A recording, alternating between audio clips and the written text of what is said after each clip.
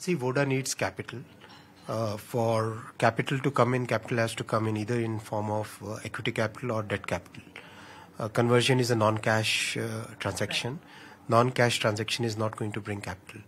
So uh, what's important is that this is a very complex issue. I wouldn't like to comment more than this, but certainly, uh, certainly we are engaged very closely with the um, current shareholders and make sure that uh, there is enough capital is brought into the company so that it survives.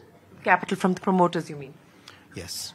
Uh, let me ask you about the PLI schemes because you gave us an indication that the government is looking at the possibility of more sectors being added.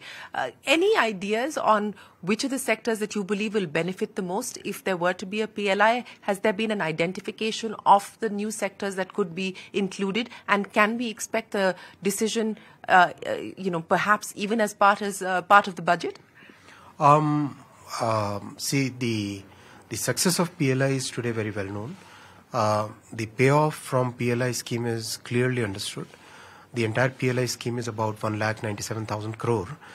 And uh, this, this much investment which the government is making is actually returned back just by one PLI, PLI of the mobile phones, by in terms of additional GST that you get. So we believe that yes, this is a great story which has created jobs, which has created new ecosystems, which has deepened the supply chain in the country. So we are definitely looking at more sectors and uh, sectors which have good employment potential, sectors which have strategic uh, importance for the country. These are the sectors we are looking at.